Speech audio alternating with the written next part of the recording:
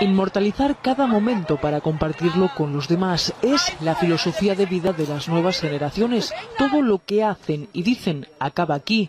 Son los nuevos clubs de amigos que lejos de provocar aislamiento sirven para reforzar las relaciones sociales. Está claro que las redes sociales eh, plantean muchísimas oportunidades eh, de socialización donde los menores pueden reforzar los vínculos sociales previamente establecidos. Ellos lo confirman. Lo utilizo para quedar con mis amigos, para hablar con mis amigos, para quedar, para conectarnos, para, yo qué sé, la foto. Tener un perfil en una red social les hace sentirse populares e integrados en un grupo. Pero ¿qué piensan los padres de esta nueva moda? Yo la verdad que no concibo cómo puedes hacer amigo de una persona que desconoce totalmente y que está contándole tu vida a una pantalla. Están expuestos a que lo vea todo el mundo y a manipulaciones. Los menores que hacen uso de las redes sociales son conscientes de los riesgos a los que se exponen, aunque no siempre toman las medidas necesarias para prevenirlos. Muchas veces el hecho de tener conciencia del riesgo no necesariamente implica tener una conducta más segura, sino que muchas veces arriesgan más.